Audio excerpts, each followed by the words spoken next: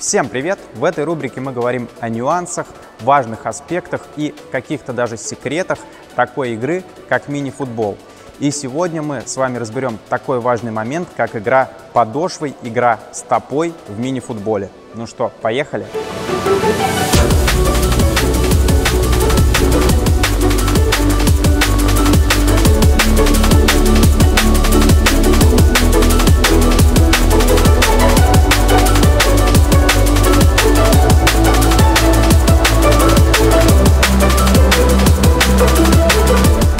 Нужно сказать, что в мини-футболе очень много и очень часто играют именно стопой, останавливают и обрабатывают мяч под подошву, прокатывают его под подошвой. И таким образом мяч контролируется и ходит очень быстро от одного игрока к другому. Чем это обусловлено? Это обусловлено прежде всего тем, что в мини-футбол играют мячом четверкой, а не пятеркой, как в большом футболе то есть он тяжелее, за счет своих свойств его легче контролировать именно подошвой стопой. К тому же мини-футбол это гораздо более динамичный вид спорта. Здесь очень много передач, которые идут прямо в ноги, то есть точно под вашу ногу. И удобно мяч останавливать именно подошвой. И зачастую идет именно два касания, то есть подошва обработка, часто с прокатом, это когда мы мяч прокатываем в одну или в другую сторону, допустим, перед собой, или вправо, или влево, и после этого уже отдаем передачу. И чем быстрее у нас развиты эти два навыка, прием под подошву и затем передача, и чем быстрее мы переходим от одного действия к другому, быстрый прием и быстрая передача, тем лучше и быстрее у нас получается контролировать мяч на площадке всей командой.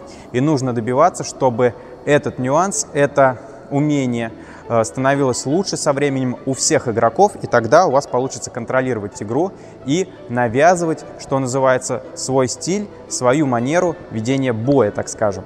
Щечкой и внешней стороной здесь принимают гораздо реже.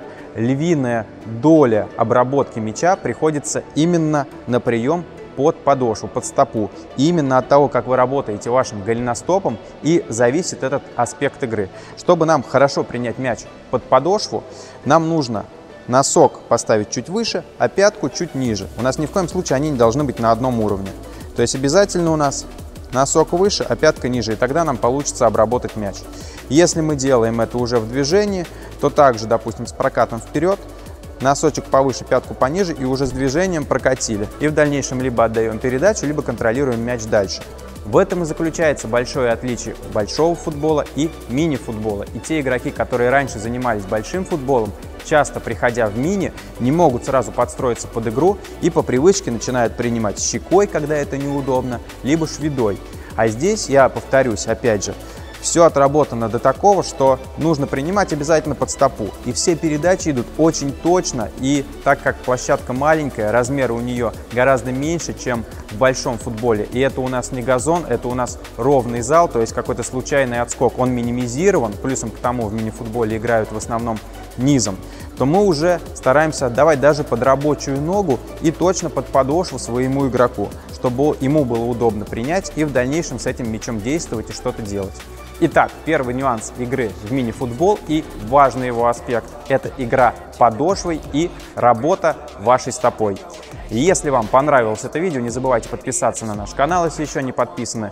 В комментариях напишите, на какие темы вы бы еще хотели смотреть наши видеоролики. Всем спасибо за внимание и до скорых встреч. И поставьте, пожалуйста, лайк, мне будет очень приятно.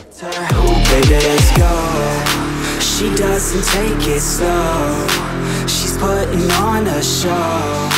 She's acting like a pro. Oh baby let's go.